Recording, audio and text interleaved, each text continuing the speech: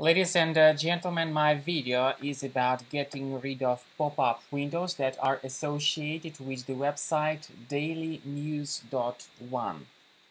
This is a scary alert attacking uh, Google Chrome, Firefox and uh, other popular browsers.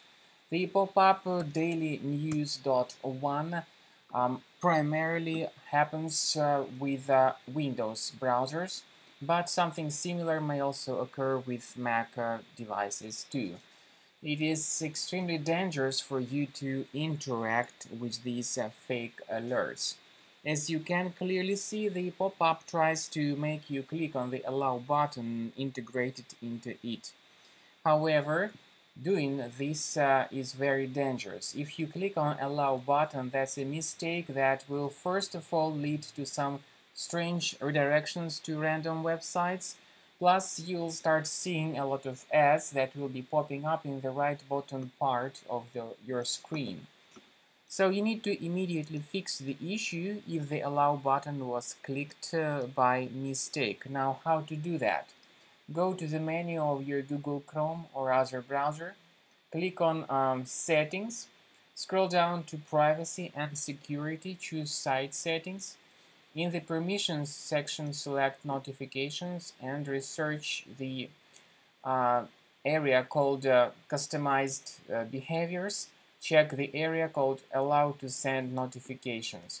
So remove this malicious site dailynews.one from the list and you may also remove other junk sites that you find here. After this has been successfully accomplished, the problem should be fixed. I mean the problem related to uncontrolled push notifications. But I would also recommend scanning your Windows device with Combo Cleaner.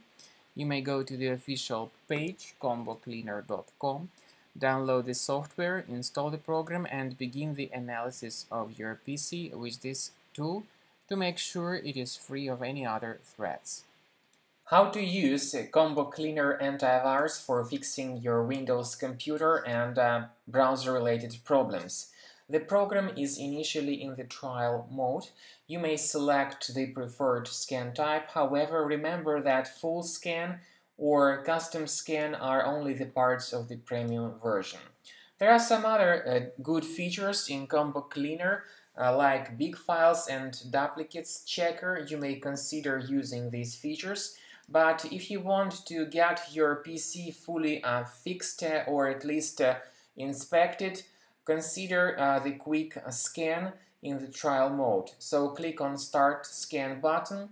The program will begin scanning your computer and uh, it will uh, soon discover certain problems related to your available browsers or possibly related to the other issues with your uh, Windows computer.